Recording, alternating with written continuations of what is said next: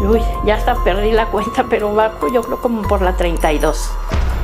Te contamos todos los detalles acerca de la cirugía número 32 de Alejandra Guzmán. Parece que no se encuentra nada bien de salud, así que entérate con nosotros acá en Famosos al Día.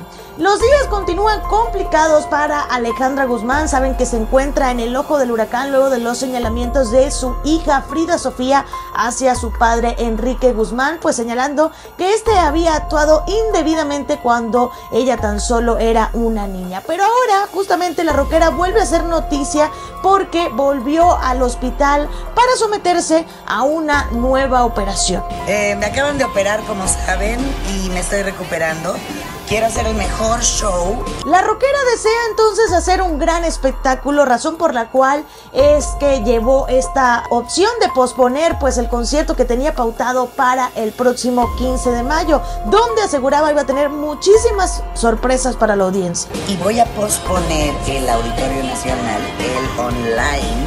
A ver, regalitos. Esta cirugía en particular se trató de la número 32 en su larga lista de visitas al quirófano y justamente María Elena Sandoval, quien es su doctora de cabecera, estuvo conversando pues eh, con el programa Ventaneando para dar algunos detalles más a fondo de todo este procedimiento, de toda nueva operación que recibió la Guzmán pues estaba todo como un plastrón, es decir, como una aglomeración de tejido duro. Como en cirugías anteriores también, pues esta no estuvo exenta en afectar algunos tejidos de la cantante y así incluso lo estuvo revelando la doctora Sandoval. Simplemente por el manipuleo de los tejidos, pues hay una cierta acción que los tejidos reaccionan. La doctora también comentó que aun cuando ya han transcurrido 12 años, Alejandra Guzmán todavía posee polímeros en varias partes de su cuerpo. Polímeros existen en muchas partes de su cuerpo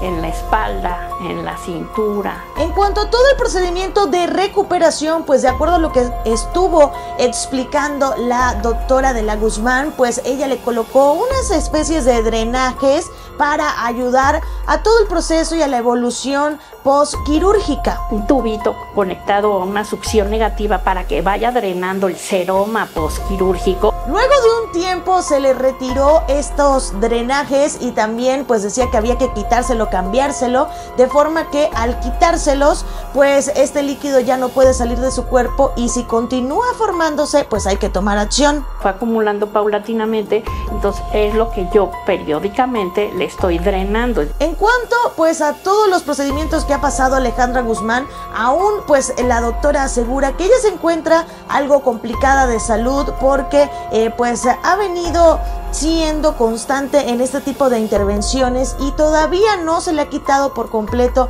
este tipo de sustancias de su organismo. Se ha quitado demasiado tejido es una situación muy delicada, muy difícil. Pues quiero saber qué opinas al respecto, déjame tu comentario y recuerda suscribirte a nuestro canal para mantenerte siempre al día junto a nosotros aquí en Famosos al Día.